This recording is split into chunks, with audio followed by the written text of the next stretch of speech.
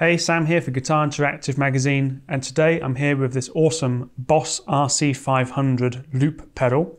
This is unique in the fact it has two tracks which you can change the level of, and you've also got an XLR in. So that demo there, you saw me moving between the two sections of the track, and that way you can create lots of different levels and dropouts and things like that. So let's just have a look. So at the moment we're in track one mode, and Within this pedal, you've got things like the drum machine, which you get on some of the other Boss loop pedals.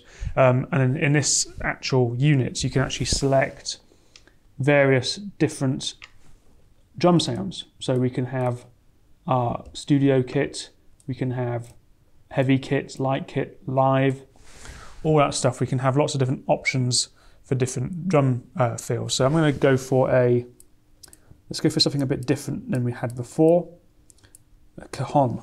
Okay, that's different enough, hopefully. Let's see how that sounds. I've got it for a count, and let's just see how that sounds, and I'll see if I can come up with something to loop.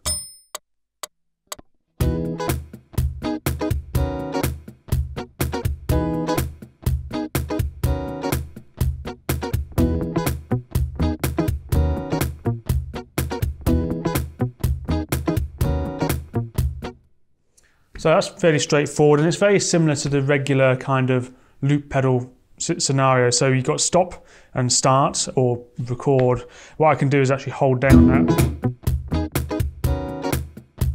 And there we got rid of the last take. And if I just want to get rid of that entirely, I hold it down until it flashes. So it's, just pretty straightforward. Now, if I wanted to um, add another part to that, let's see if I can re-record that idea. And then I'm going to put a I'm going to do the same. I'm going to actually go to the track select and it's going to enable me to go to the second track on the loop pedal and then I can put another part or another selection of loops in there and have that as a droppable in and out kind of thing. So um, here we go.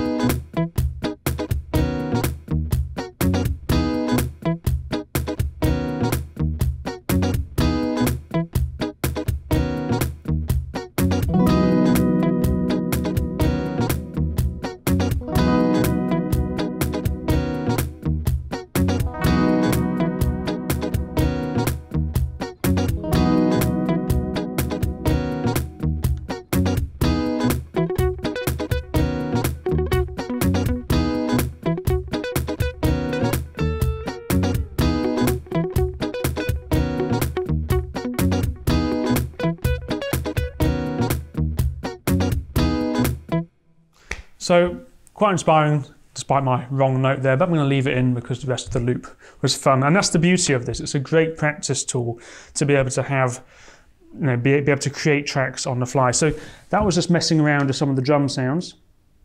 Now we can also get into each track and add effects to it. So you can reverse the loop if you want to. Um, see how that happens. Let's see what happens if I actually try that. So um, going back. So loop one will be reversed. Let's see what happens. I've not actually tried this yet. So.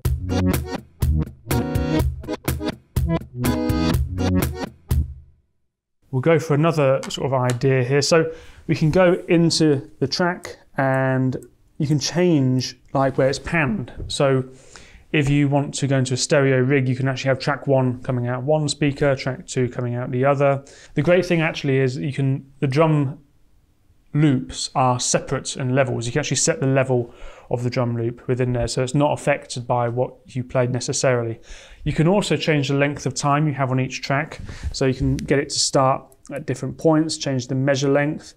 You can change the tempo, and you can actually keep it either quantized or not quantized.